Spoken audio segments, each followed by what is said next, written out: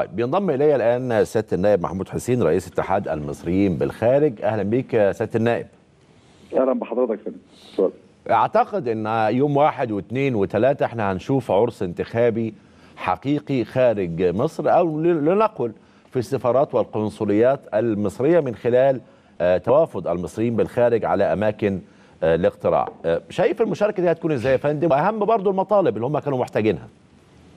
خليني أقول لحضرتك إن المشاركة يعني أنا شايف الفترة اللي فاتت الثلاث أسابيع اللي فاتوا دول كانوا ملحمة بحب مصر.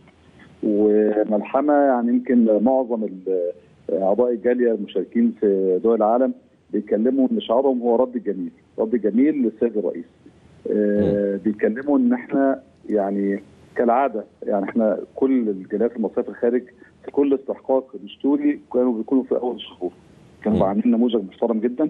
لدرجه إحنا بنتكلم إن إحنا اللي بنشوفه وقت الحشد ووقت الانتخاب في السفارات أعتقد إن يعني بيصنع غيرة مع المصريين في الداخل ف يعني بيقبلوا على الانتخابات. اللي إحنا شايفينه في أكثر من دولة إحنا يمكن عقدنا اجتماعات بمجموعة محترمة جدا من الرموز في الخارج مع المستشار محمود فوزي آه رئيس الحملة. آه واعتقد من أكثر من شهر يعني الشباب المصري اللي موجود في الخارج اللي بيمثل مصر ما بينامش. ما بينامش عشان نفسه يعني الشكل الانتخابي والاستحقاق الدستوري يطلع بالشكل اللي يليق بمصر ويليق أيضا بمكانة السيد الرئيس. يعني سياده النائب خليني أسألك برضو عن المصريين بالخارج. هل كان لهم مطالب معينة؟ هل كان عندهم مشاكل معينة؟ حاولوا يتواصلوا مع سفاراتهم من أجل حلها عشان تسهيل دخولهم للعملية الانتخابية ولا لا؟ خليني أقول لحضرتك إن إحنا من 2014 ظهر يعني اهتمام الدولة بالمصريين في الخارج يمكن كان قبل 2014 قبل تولي السيد الرئيس يعني حكم الدولة المصرية كانت علاقة المصريين بالخارج عبارة عن رقم في الموازنة رقم التحويلات.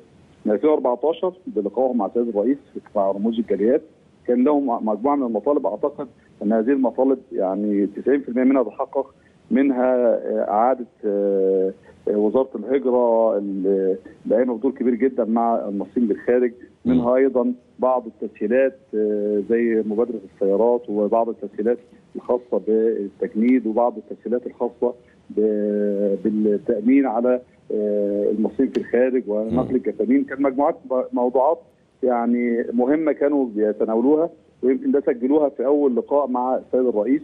وأعتقد إحنا دلوقتي أو يمكن في 23 كنا بنتكلم في إن معظم هذه المطالب تم تحقيقها إن إن هذه المجموعة المحترمة اللي بنعتبرهم سفراء حقيقيين للدوله المصرية لما بيقفوا في هذا الاستحقاق ما بيتكلموش على مطالب قد بيتكلموا على إظهار الدولة المصرية بشكل يليق بمصر.